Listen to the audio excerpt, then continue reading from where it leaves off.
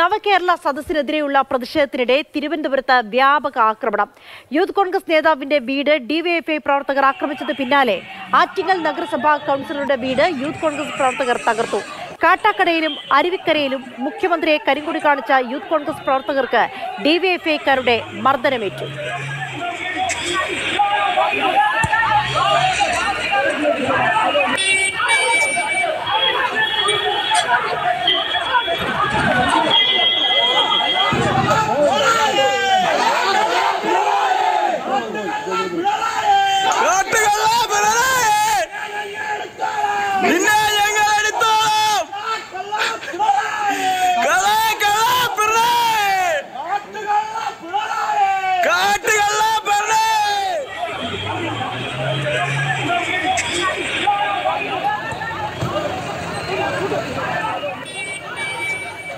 A K Stephin വിവരങ്ങളുമായി ചേരുന്നു. സ്റ്റെഫിൻ കണ്ണൂരിൽ തുടങ്ങിയതാണ്. അതങ്ങ് തലസ്ഥാനത്തേക്ക് എത്തുമ്പോൾ വലിയ തോതിലുള്ള പ്രതിഷേധത്തിനും തിരിച്ചടിക്കുമൊക്കെ കാരണമാകുന്നു ഇന്ന് തലസ്ഥാനത്ത് എവിടെയൊക്കെയാണ് പ്രതിഷേധമുണ്ടായത്?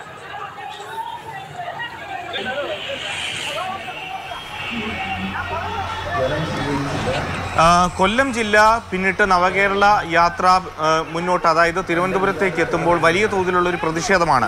പ്രത്യേകിച്ചും തെക്കൻ ജില്ലകളിലേക്ക് എത്തുമ്പോൾ. കൊല്ലത്ത് ആദ്യ ഘട്ടത്തിൽ നിരത്തുകളിലായിരുന്നു ഈ പ്രതിഷേധവും കയ്യാങ്കളിയും ഒക്കെ എങ്കിൽ ഈ കഴിഞ്ഞ ദിവസം തിരുവനന്തപുരത്തേക്ക് എത്തിയതോടുകൂടി വലിയ തോതിൽ ഉള്ള ആക്രമണങ്ങളിലേക്ക് ഈ യൂത്ത് കോൺഗ്രസും അതോടൊപ്പം തന്നെ ഡിവൈഎഫ്ഐയും കിടക്കുന്ന ഒരു കാഴ്ചകളാണ് നമുക്ക് കാണാൻ സാധിച്ചത്.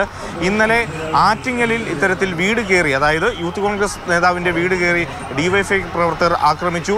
അത് പോലീസ് അവിടെ വീടിന് കാവൽ നിൽക്കുമ്പോഴായിരുന്നു ഈ ആക്രമണം എന്നുള്ളതാണ് ഇന്ന് യൂത്ത് കോൺഗ്രസിന്റെ പരാതി. അതോടൊപ്പം അതിന് പിന്നാലെ യൂത്ത് കോൺഗ്രസ് പ്രവർത്തകർ ഡിവൈഎഫ്ഐ പ്രവർത്തകന്റെ ഡിവൈഎഫ്ഐ നഗരസഭാ കൗൺസിലറുടെ വീട് ആക്രമിക്കുന്ന സ്ഥിതി ഉണ്ടായി. അതിന് പിന്നാലെ മുഖ്യമന്ത്രിയെ കരിങ്കൊടി കാണിക്കാൻ പല സ്ഥലങ്ങളിലും യൂത്ത് കോൺഗ്രസിന്റെ പ്രവർത്തകരുണ്ടായിരുന്നു. ഇന്ന് ആദ്യം പരിപാടി നടന്നത് അരുവിക്കരയിലാണ്. ആ അരുവിക്കരയിലേക്ക് കാട്ടാക്കടയിൽ നിന്ന് വാർത്താ സമ്മേളനം കഴിഞ്ഞ് മുഖ്യമന്ത്രി പോകുമ്പോൾ ആ വഴിയിൽ കാത്തുനിന്ന പ്രവർത്തകർ ആ, മുഖ്യമന്ത്രിയെ കരിങ്കൊടി കാണിച്ചു. അതിനുശേഷം വീണ്ടും കുറ്റിച്ചൽ ഭാഗത്തേക്ക് എത്തിയപ്പോൾ വീണ്ടും യൂത്ത് കോൺഗ്രസ് പ്രവർത്തകർ കരിങ്കൊടി കാണിച്ചിരുന്നു. അങ്ങനെ വ്യാപകമായ ഒരു പ്രതിഷേധം ഈ നവകേരള സദസ്സുമായി ബന്ധപ്പെട്ട് തിരുവനന്തപുരം ജില്ലയിൽ നടക്കുന്നുണ്ട്.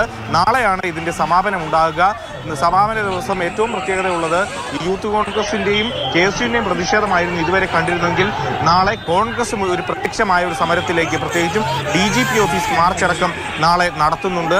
അതിലൊക്കെ തന്നെ വലിയ തോതിലുള്ള പോർവിളികൾ നേതാക്കന്മാരുടെ ഭാഗത്തു നിന്നും ഉണ്ടാകുന്നുണ്ട്. അതായത് ഇന്ന് എം പി ഗോവിന്ദൻ അടക്കമുള്ള ആളുകൾ പറഞ്ഞത് ഈ അടിക്കു അടിക്കുമെന്ന് നേരത്തെ വി ഡി സതീശൻ തിരിച്ചടിക്കുമെന്ന് പറഞ്ഞിരുന്നു. അങ്ങനെ തിരിച്ചടിക്കാൻ തീരുമാനിച്ചാൽ കിട്ടുന്ന അടിയാണ് ഇപ്പോൾ നടക്കുന്നത് എന്നുള്ള കാര്യമാണ് പറയുന്നത്. പരസ്പരം പോർ വിളിച്ചുകൊണ്ട് മുന്നോട്ട് പോകുന്ന നേതാക്കളെയും പ്രവർത്തകരെയുമാണ് നവകേരള സദസ്സ് അവസാനത്തോടടുക്കുമ്പോൾ കാണാൻ കഴിയുന്നത്.